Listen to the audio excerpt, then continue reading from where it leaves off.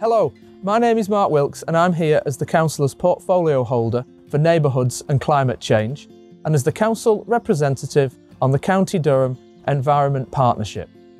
And I'm here today to welcome you to our second online ceremony of the County Durham Environment Awards. The different circumstances that we've had to deal with again over the past year don't need much explanation, except to say that this has been another very different year to our usual awards.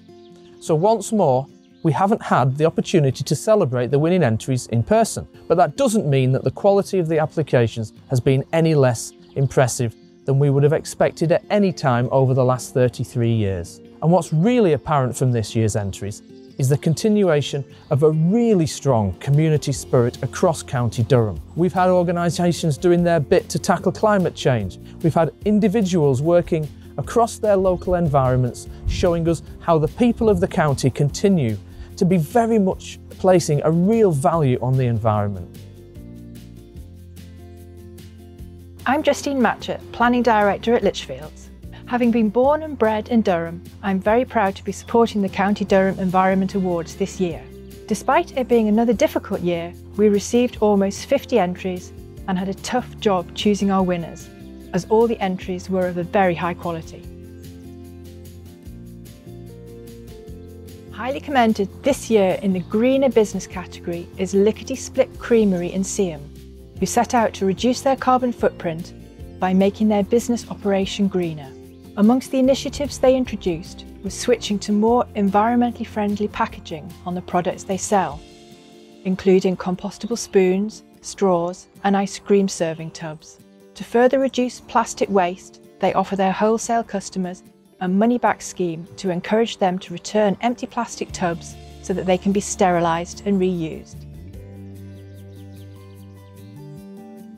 The winner of the Greener Business category this year is Greenkeepers Eco Home Store. This business in Consett has the aim of helping its customers reduce everyday plastic waste by offering zero plastic packaging and helping customers generally lead more sustainable lives. The shop also has a refill station, stocking refills for a wide variety of cleaning, laundry and hair and body care products, as well as many other items. They urge customers to bring containers from home for all products and even offer a discount on food products for those that do. This is a wonderful example of a business which is helping to educate and support local people who want to set out on their own waste-free journey. A highly commended award in the waste management category goes to the Small Electrical Project. The partners involved include Durham County Council, Valpak, AO.com and County Durham Furniture Help Scheme as well as various community groups and schools. The initiative was to provide small electrical recycling collection points in community buildings across County Durham and promote the recycling of small waste electrical and electronic equipment such as hair dryers, toasters and kettles. The project only officially launched in June 2021 but has already installed 41 collection points across County Durham and collected over three tonnes of small waste equipment. This project is innovative for County Durham as there were no curbside or community collections for this type of waste. The winner of the waste management category this year is Recycle Bike. This is a recycling charity that refurbishes donated bikes. These bicycles are then sold to the public at a reasonable cost as a way of encouraging cycling across Durham. This helps provide exercise for local residents, reduces the number of bikes being sent to landfill, as well as helping to fund other community-based activities related to cycling in the county. I'm Rich Hurst, Durham County Council Education Advisor for Sustainability. I'm delighted to be one of the judges involved in this year's Environment Awards and asked to lead on the Schools and Colleges section. The environmental and climate change related projects that schools and organisations across the county get involved with each year is fantastic. And this enables our young people to become more aware of not only the challenges we face environmentally, but also, and as importantly, what power they have to make positive change and become active citizens with local and potentially global benefits. The fact that this work has been undertaken during a pandemic is even more impressive.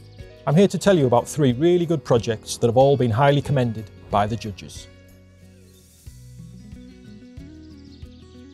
The first, North Park Primary School in Spennymoor, and their activities through their gardening club, learning about growing vegetables and also wild flowers to benefit pollinators.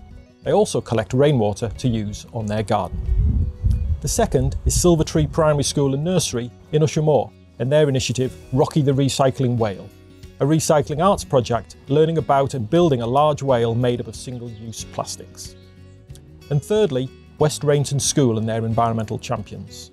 Their project called My School, My Planet aimed at reconnection with the outdoors after lockdown through planting trees, flowers and herbs, working with the national charity Learning Through Landscapes and local charity Oases. Well done to everyone involved in these highly commended schemes.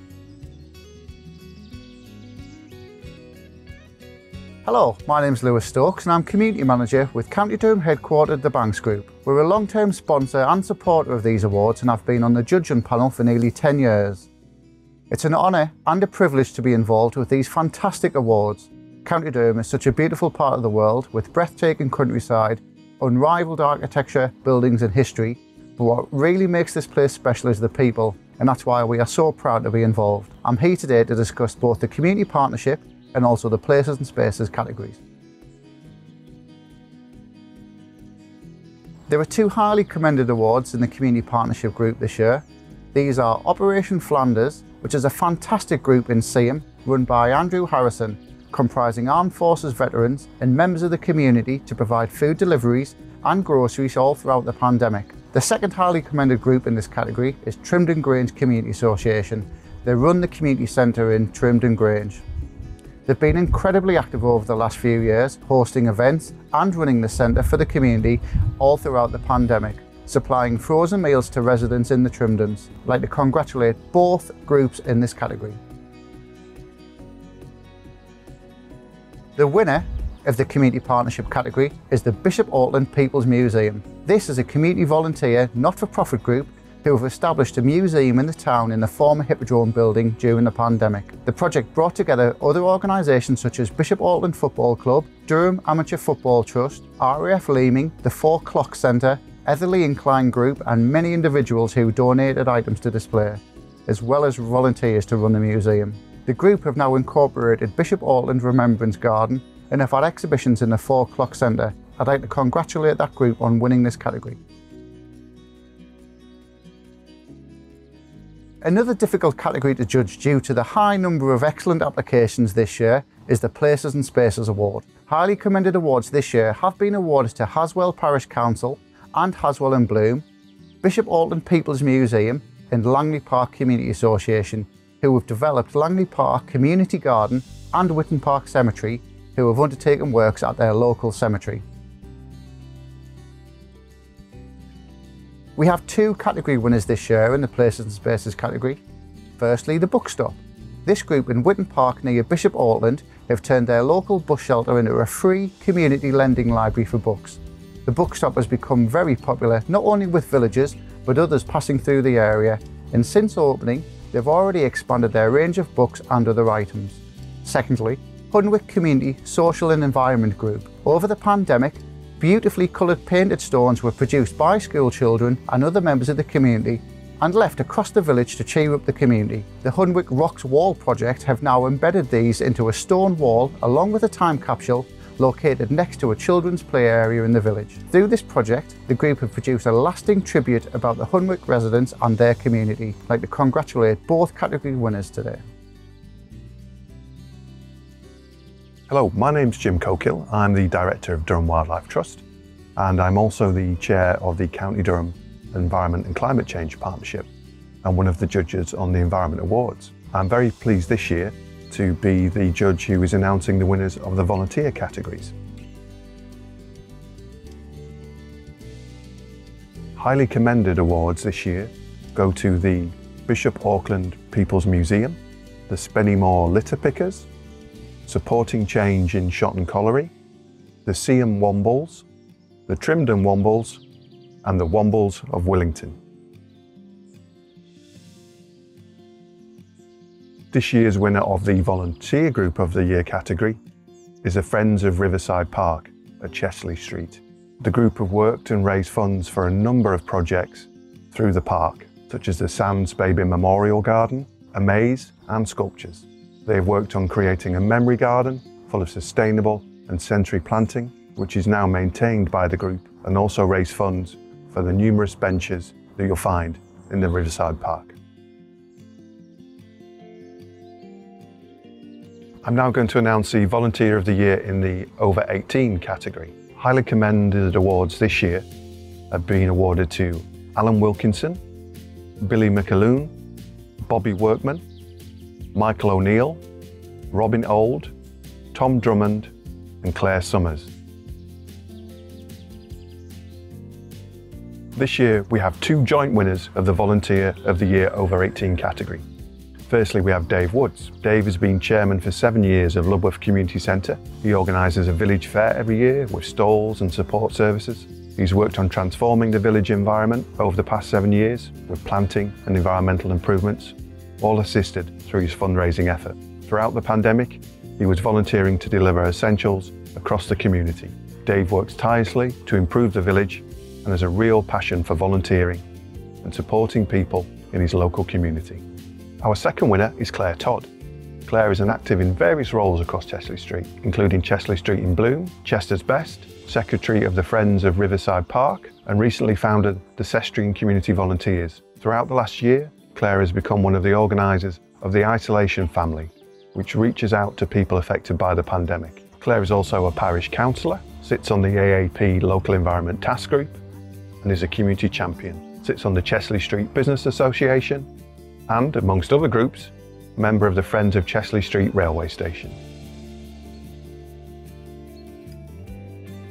Our winner of the Volunteer of the Year Under 18s award this year is Bo Stewart. Bo is part of a litter picking group called Let's Clean Up Bishop Auckland and goes on litter picks with his mum around their local streets and playground. Congratulations to Bo. And that's all our winners this year. And congratulations go to everyone who's won an award and also to everyone who entered. And let's not forget everybody else who volunteers. And please do keep volunteering. It makes County Durham a better place for us all. Can I once more say a heartfelt thank you to everybody who has taken the time to apply with their projects this year and made a real effort to submit an application.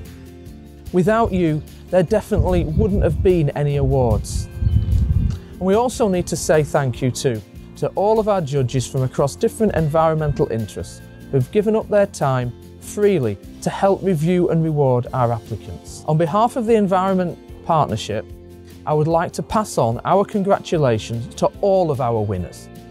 We really value the care that you in your communities put into the environment around you, making the county a better place, somewhere where we can all be proud to live and to work. Thank you so much.